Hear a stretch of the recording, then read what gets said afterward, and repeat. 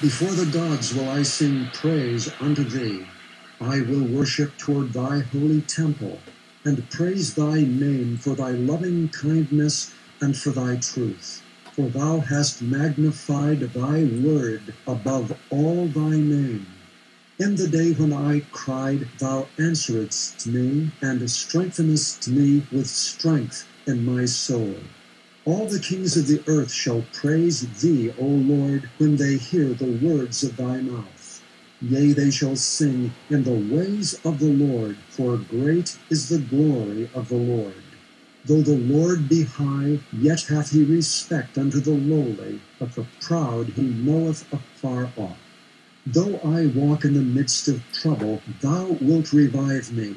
Thou shalt stretch forth thine hand against the wrath of mine enemies, and thy right hand shall save me. The Lord will perfect that which concerneth me. Thy mercy, O Lord, endureth for ever.